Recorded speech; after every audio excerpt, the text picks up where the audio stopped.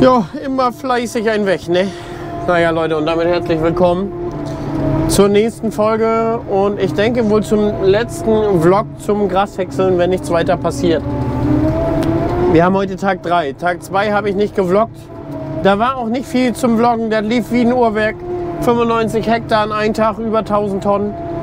Wirklich wie ein Uhrwerk, wurde ein bisschen länger. Äh, haben da wirklich abends noch die eine Wiese fertig gemacht, weil wir Angst hatten vor dem Regen. Weil wenn da, da drauf regnet, dann hätten wir da verloren. Und dann hat gestern geregnet. Wir hatten 20 mm. Wir nehmen den Regen dankend an. Der Raps freut sich. Es war nämlich schon wieder trocken wie Sau. Und jetzt sind wir heute hier und häckseln für einen anderen Landwirten. Der liefert auch zu der Biogas und das liefern wir sozusagen mit und häckseln das mit und organisieren das alles mit. Und wir fahren jetzt hier zwischendrin mal her, weil wir sind auf einen Standort fertig, fahren wir hierher und wenn wir hier fertig sind, sozusagen haben wir nur noch direkt neben der Anlage und dann schicke ich schon ähm, Transporter weg, weil sonst wäre ja blöd, macht ja gar keinen Sinn, wenn ich jetzt sage, äh, sag mal, wir machen unseres erst fertig, da brauchen wir nur zwei, vielleicht drei Transporter und mit einmal brauchen wir dann wieder fünf. Fünf sind auch hier schon ganz schön knapp, das sind ungefähr 14 Kilometer. Das sind hier ja, ich frage mich auch noch. Das waren erst 20 Hektar. 20 Hektar habe ich schon weg und das fühlt sich an wie die Hälfte. Ich glaube, es sind ein bisschen mehr als 20 Hektar. Machen wir mit, sind nur 20 Hektar. Ich glaube, ein bisschen mehr. So, heute ist Donnerstag. Wir haben kompletten Tag Regen gehabt. Demzufolge seht ihr auch gleich mit der Trockensubstanz ist das ein bisschen feuchter. So, ich häcksel das jetzt auch ein bisschen länger, damit das nicht ganz so ein Matsch ist, weil wir haben gestern nach dem Regen direkt weitergemäht. Das Mähwerk war leider kaputt gegangen am Dienstagabend und konnte erst sozusagen, gestern war Mittwoch, gestern war der Regentag, wieder repariert werden und wir waren richtig rangerutscht. Also wir waren unmittelbar dran, wir hatten alles aufgehäckselt und aufgeschwadet und Demzufolge ja, haben wir gestern das Mähwerk direkt nach Regen losgeschickt. Waren nicht optimale Bedingungen, muss man sagen. Aber es ist wie es ist. So, und heute Morgen gleich den, äh, den Schwader losgeschickt um 6.30 Uhr. Wir direkt nach zum Häckseln. Jetzt geht's. Wir sind schon bei 31 TS inzwischen. Wir haben bei 27 heute Morgen angefangen. Wir haben aber auch, ähm, ja, Durchschnitt davor von 42 gehabt, auch ein paar Partien mit 50 und Demzufolge ist das okay, wenn bei so einem, keine Ahnung, am Ende 3000 Tonnen Silo ein paar nasse Partien dabei sind. Das ist nicht äh, schlimm. Es wird ja abgerechnet nach Trockensubstanz, das heißt, die Ware ist zwar schwerer, aber man bekommt halt entsprechend weniger Geld dafür. Man bezahlt, oder wir haben das so gemacht zum Beispiel, wir kriegen nur den trockenen Anteil bezahlt. Also Wasser wird quasi rausgerechnet und dann ist für alle Beteiligten die fairste Variante, muss man ehrlich zugeben. Denn wenn das feuchter ist, wiegt es mehr aber dann ist ja auch viel mehr Wasser drin. Und wenn es trocken wird, wird es leichter, ist aber viel weniger Wasser drin und viel mehr Material im Verhältnis. Und dann bekommen wir mehr Geld. Und letztendlich steht auf der Rechnung dann nur die Menge an Trockenmasse drauf, die tatsächlich geerntet wurde. Und wie gesagt, ist für alle Beteiligten fair. Wir haben heute fünf Transporter. Da ist unser 39 mit dem Harvey. Da hinten, glaube ich, sieht man die schon kommen. Da kommt der Sportkipper oder die Sportkipper. Was auch noch ein bisschen dazu kommt, wir können da rauffahren, aber wir fahren da hinten im Ort raus, weil wir haben hier die Bundesstraße und die haben so ein bisschen ja, feuchtet Gras an den Rädern und wir wollen das nicht auf die Bundesstraße rauffahren. Deswegen fahren wir da zum Ort und fahren durch den Ort sauber. Und dann haben wir hier nochmal gemähtes, frisches Grünland und da fahren die Reifen sich sauber. Ja, das wäre das. Dann ist noch ein Vorkommnis, da muss ich euch erzählen. Und zwar hat die vorhin gekokelt und zwar hinten beim Auspuff. Da ist mir zwischen der Seitenklappe anscheinend ein bisschen Material dazwischen gefallen auf den Auspuff rauf. Und ja, war so ein Glutnest. Habe ich sauber gepustet, weggepustet, war weg. Also da ist so eine kleine Einwölbung im Auspuff. Und da hat sich das gebildet. Ähm, Twitch Farming wird jetzt wieder machen äh, Hexler, Hexler in Brand oder irgendwie sowas. Der ist ja äh, Clickbait sein Vater. Aber ähm, ich glaube, ich mache es lieber nicht, äh, YouTube-Klicks wieder so zu ziehen. Ähm, das wäre noch zu sagen. Wir haben heute den letzten Tag. Es sind, ja, wir haben bei uns noch 60 Hektar. Wenn es jetzt hier, hier wären es noch 80 Hektar gewesen, wenn es 20 wären. Wenn es jetzt aber 30, 35 Hektar hier sind, dann hätten wir ja noch quasi 95 Hektar. Dann zieht sich das schon sehr, sehr lange heute noch. Und wir wollen ja morgen auf den Mähler fahren. Heute ist Donnerstag, wir wollen heute unbedingt fertig werden. Morgen fahren wir auf, fahren wir auf den Mähler, zur Mähler. Das ist die Landwirtschaftsausstellung in Mühlen geht's. Und haben das eigentlich schon länger geplant. Ich fahre immer mit meinen Jungs, die haben ihre Frauen dabei. Die Frauen haben Urlaub genommen morgen, damit sie das realisieren können. Und deswegen müssen wir das heute irgendwie schon mit der Brechstange versuchen. Deswegen sind wir heute auch schon ja, kurz vor sechs auf dem Hof, Häcksler getankt, Schleifstein nochmal getauscht. Der ist jetzt neu. Und sind, wie gesagt, ich glaube 6.20 Uhr ist der Schwader gefahren. Ich glaube, ich war 6.40 Uhr los oder so. Ähm, genau, das ist dafür zu sagen. Also der letzte Grasschnitt ever. Ich meine, man, man weiß nie, sagt niemals nie, aber es ist schon sehr realistisch, dass keiner da mehr kommt. So, hier die Sportkepper noch im Einsatz. Sportkepper, das ist, muss man ehrlich sagen, HW80 ist so ziemlich das billigste Transportmittel, was wir so in der Landwirtschaft haben, ohne Scheiß. Die Hänger sind. Also die, die Aufbauten alleine von Kono sind über 20 Jahre alt. Anfang 2000 haben wir die umgebaut. So, dann sind die Hänger allgemein aus irgendwie aus den 90ern, 80ern. Wir haben da irgendwann mal ein neues Fahrwerk und also Fahrwerk, wir haben irgendwann die Federn ausgetauscht, neue Bremsen gemacht, alles drum und dran. Und da muss man sagen, dafür, die sind ja auch schon ewig abgezahlt quasi, fahren die und fahren die. Und die haben auch über 40 Kubik oder die haben 40 Kubik. Von daher nehmen die auch ordentlich Masse mit. Das ist schon geil, muss man ehrlich sagen. Also gibt auch viele Betriebe, die nach wie vor auf den setzen. Ultimativ würde ich nicht auf die Dinger setzen, weil da haben die großen Dreiachser und so schon ganz anderen Fahrkomfort. Aber da hält ja wirklich mal gar kein HW80-Zug mit. Also da sind die großen Dreiachser schon am Schweben und fahren da easy drüber und durch die Stützlast bewegen die noch mal mehr. Und wenn es feucht wird, obwohl die so ähm, leicht sind, äh, fährst du mit denen, hörst du mit denen als erstes aufzufahren, weil die Großen doch doch mehr Last überstützen, größeren über, überrollen oder mehr überrollen an Fläche mit den großen Reifen. Und da muss man sagen, sobald das weich wird, fährt man mit denen nicht mehr so weit. Ja, das ist der Punkt. Und ich glaube, ich hole euch nachher noch dazu. Ich will noch ein kleines Fazit aufnehmen und will euch einfach ein, ein, zwei Punkte sagen, die mir über den Jaguar, über die Jahre aufgefallen sind, die am Krone einfach anders waren und auch teilweise besser waren und was hier besser ist. Und da habe ich gedacht, so, ja, nach drei Jahren, ich bin beide Häcksler drei Jahre gefahren, glaube ich, dann kann man das, kann man das schon machen. Ich habe, glaube ich, in der letzten Folge gesagt, ich habe ja hier so einen kleinen Sensorfehler, so einen Logikfehler, sagt er zu mir.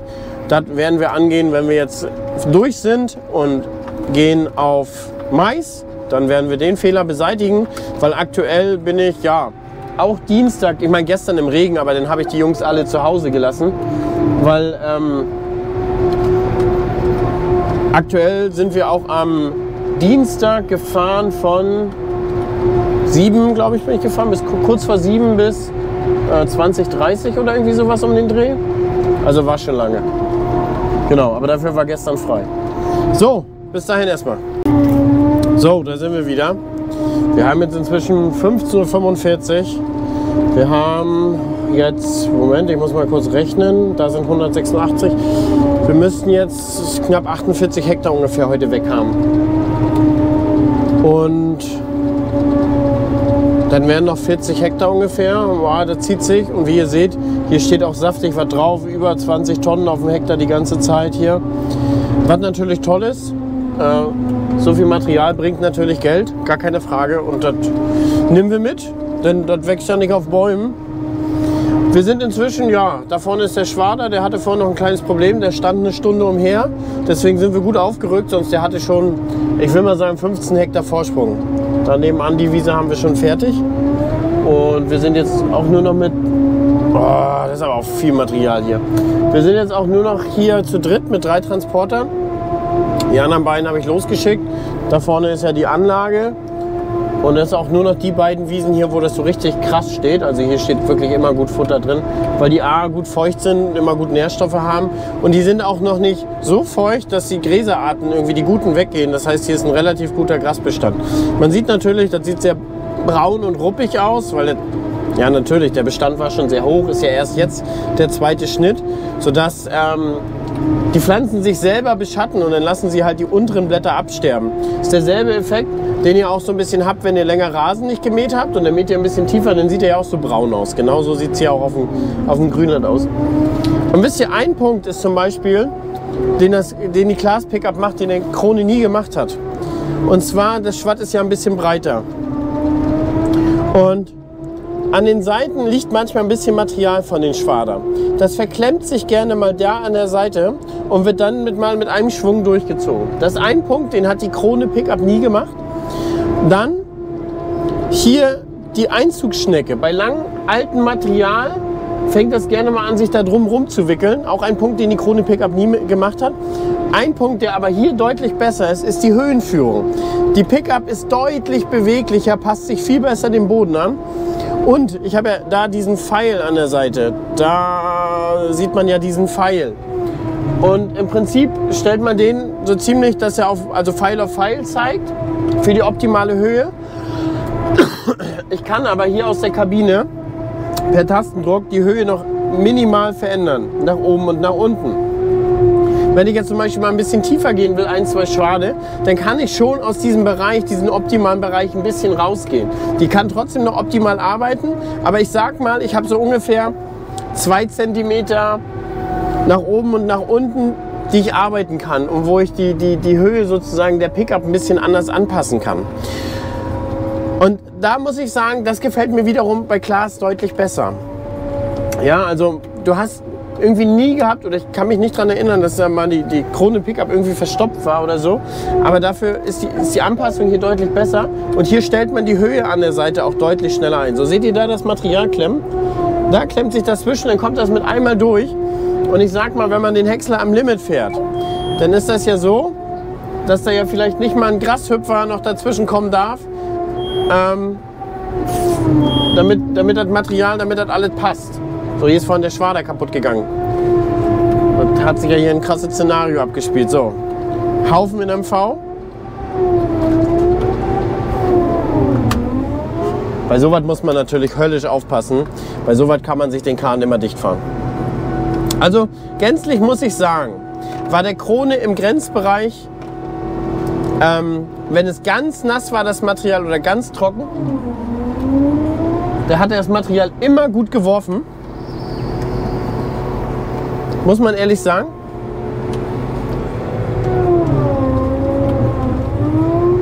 Gerade sowas hier, wenn es so haufig lag, das kam immer gut aus dem Häcksler raus, da brauchte man nie Angst haben. Da muss man beim Jaguar schon ein bisschen mehr aufpassen. Aber ich meine, das hier ist natürlich extrem. Hier liegt ein, hier liegt ein halber Rundballen.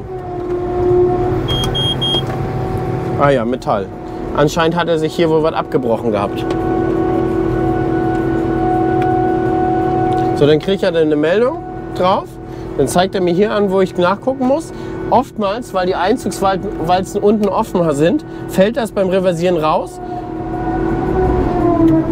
Und ich kann dann weitermachen. Also ich werde das da mal lieber sein lassen, nicht, dass da noch mehr Metall drin ist. Wer weiß, was da kaputt ging. So. Moment. Nee, anscheinend ist es nicht raus. Aber das kann man ruhig ein, zwei Mal probieren, bevor man da reinsteigt, äh, bevor man reinsteigt, bevor man gucken geht, weil oftmals fällt es unten drunter raus. Und so spart man sich das Nachgucken. Also, dass wir Metall reinnehmen können, ist ausgeschlossen. Das heißt, wir müssen ja auch jedes Mal, nachdem wir den Häckselaggregat Motor starten, erstmal reversieren, zurückdrehen. Das heißt, man könnte ihn auch nicht überlisten, dass es jetzt, sagen wir mal, da drinnen steckt, man startet den Motor neu und macht dann wieder an, damit es reingeht. Also Metall kriegt man hier nicht durch. Und mit dem Metalldetektor kann man auch nicht mehr ausschalten. Ist aber auch grundsätzlich eine gute Sache. Ähm, das kann natürlich alles zu viel Schaden führen. So, ich glaube, hier ging so ein bisschen die Probleme los.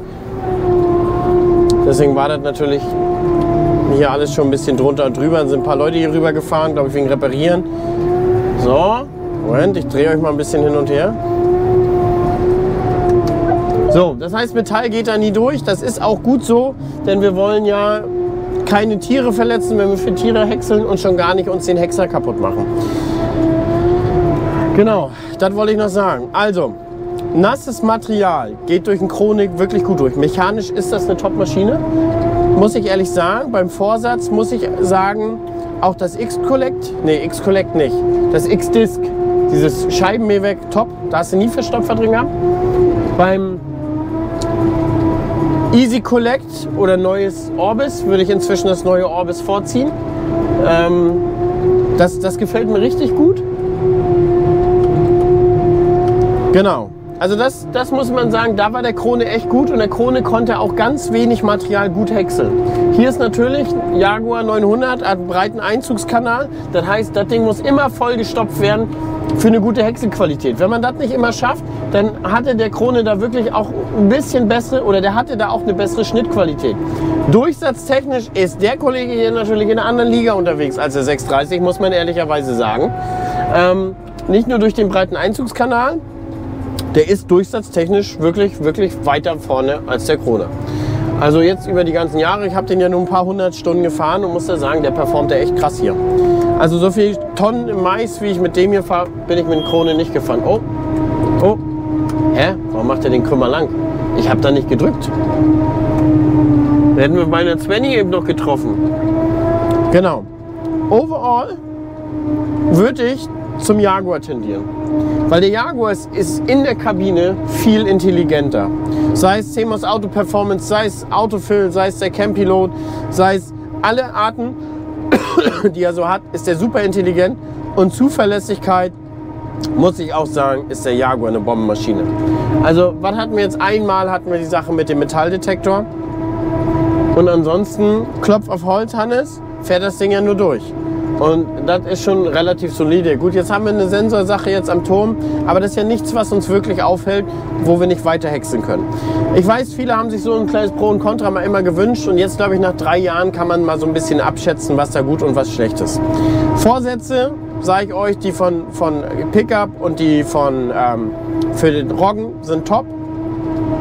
Hexenqualität, Krone auch top. Gutfluss, top. Muss man auch sagen, gerade bei Haufen, bei wirklich bei diesen richtigen Wellen hatte der einen Top-Gutfluss. Ich habe mir in den ganzen Jahren den Krone nicht einmal voll gefahren. Und ähm, beim Jaguar jetzt, glaube ich, dreimal auf die 1000 Hektar, Tausende, auf die Tausende Hektar, die ich jetzt gemacht habe. Was, glaube ich, aber auch in Ordnung ist. Ja, wir haben also noch eine Weile heute zu tun. Guckt euch mal um, das ist noch bis da ganz hinten in der Ecke und auf der anderen Seite ist auch noch was. Komm, holt euch nachher noch mal dazu, wenn es nachher dunkel ist.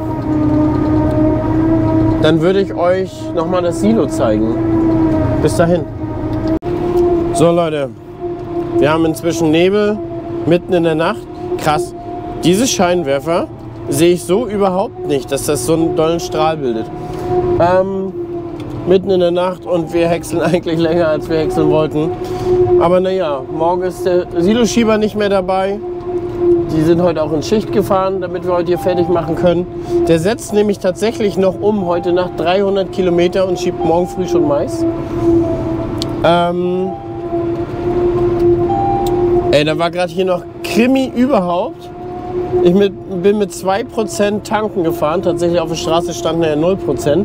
Ich habe gedacht, ich schaffe das noch. Und bei 2% habe ich gedacht, nee, jetzt musst du tanken fahren. Ich habe heute Morgen nämlich nur 1000 Liter getankt weil ich das nicht leer machen wollte. Wir haben gestern weniger bekommen, als wir eigentlich bestellt hatten. Jetzt kam heute zwischen 13 und 14 Uhr nochmal richtig Menge. Haben wir die Tankstelle nochmal voll gemacht. Und deswegen wollte ich dann heute Morgen nicht alles klauen, damit die ganzen Transporter und so alle noch voll werden. So, mit 1000 Tonnen habe ich gedacht, kommen wir klar. Aber das Problem war so ein bisschen, der Nachbarbetrieb, den wir mitgehäckselt haben, der waren halt keine 20 Hektar, sondern 30 Hektar, die wir da gehäckselt haben. Und wir hatten auch gut Ertrag hier überall drauf. Wir haben Stand jetzt heute gehäckselt. Warte mal, wir haben 65 und bei ihm waren 30, sind 95 Hektar. Und insgesamt sind jetzt weg äh, 266.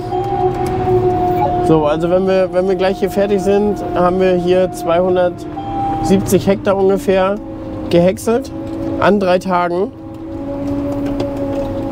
Ähm, genau, wir wollen ja morgen zur Mela zur Ausstellung. Ich frage mal die Jungs, die wollten, heute Mittag haben sie gesagt, sie wollten gerne morgen früh um 7 Uhr losfahren.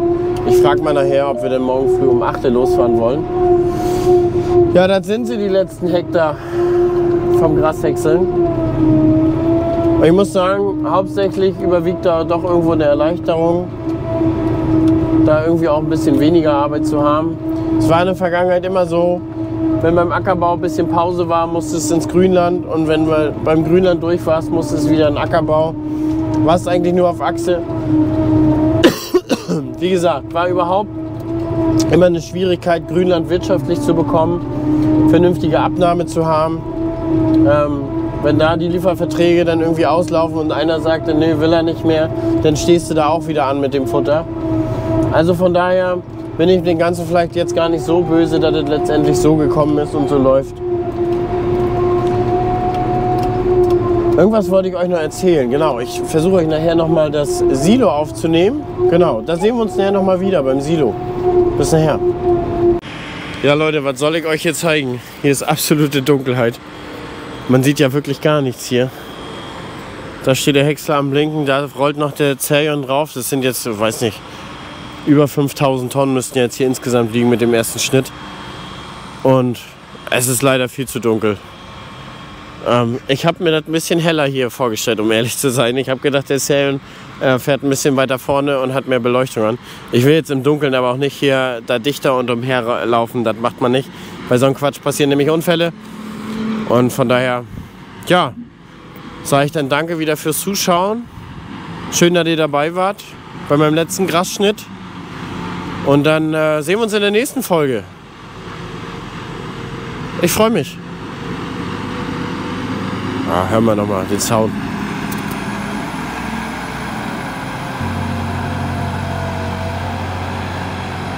Ah, schön Leute. Bis dann.